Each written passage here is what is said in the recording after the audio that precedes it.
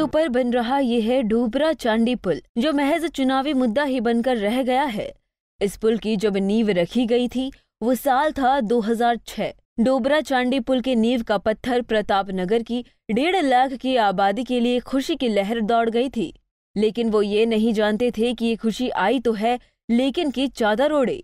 2006, 2007 और 2008 ऐसे ही साल बीतते गए और आ गया 2019 लेकिन पुल अब तक भी बनकर तैयार न हो पाया। हाँ निश्चित तौर पर प्रताप नगर का लाइफ लाइन कहे जाने वाला डोबरा चांटी पुल प्रताप नगर के जनमानस प्रताप नगर की जनता कई वर्षों से देखती रहेगी डोबरा चांटी पुल डोबरा चांटी पुल। लोग आस और उम्मीद में बैठे थे, पर अब लोगों की आस और उम्मीद धीरे धीरे खत्म होती जा रही है। कई वर्ष बीत गए डोबरा चांटी पुल नहीं बन पाया। लोगों को कई किलोमीटर की दूरी तय करके अपनी खाद्यान्न, सामग्री आदि को लाना पड़ता है और प्रताप नगर के लोगों की आँखें लाल हो गई डोबरा चांटी पुल नहीं बन पाया। लोग नेताओं को देख के अब मन सा भी भर गया लोगों का कि ये डोबरा चांटी पुल लोगों का चुनाव मुद्दा रह गया कि ये बन पाएगा नहीं बन पाएगा। आस और उम्मीद लोगों की धीरे धीरे खत्म हो रही सर। डोबरा चांटी पुल बनने से प्रताप नगर के लोगों को बहुत बड़ी राहत मिलती। प्रताप नगर का लाइफ लाइन कहने कहे जाने वाला डोबरा चांटी पुल है।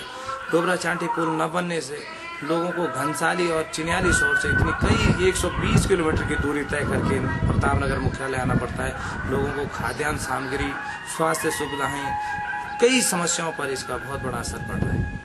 सरकार आई और चली गई। दावे किए गए जो सरकार के साथ ही हवा हो गए और जनता की आँखें अधर में अटके पुल के निर्माण कार्य को निहारती रही। लेकिन चुनाव नज़दीक हैं और अब जनता चुप नहीं है। तेरह साल से अधर में अटका पुल चुनावी मुद्दा बन चुका है। जिससे जनता में एक बार फिर उम्मीद की किरण जगी है।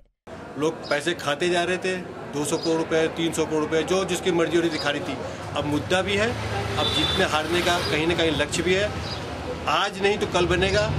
अब तो ये हाई कोर्ट में भी, सॉरी, एनजीटी में भी, नेशनल ग्रीन ट्रिब्यूनल में भी इन्होंने एफिडेविट फ़ाइल कर दिया है। दिसंबर तक बना करके देंगे पुल। आज अगर ये पुल बनेगा कि ये भारतीय जनता पार्टी या किसी पार्टी की रहमत नहीं बनेगा ये लोगों के प्रेशर और वोट के संज्ञान में लेने के कारण से बनेगा। वही पुल पर चुनाव आते ही नेताओं ने राजनीतिक रोटियाँ सेकनी शुरू कर दी है।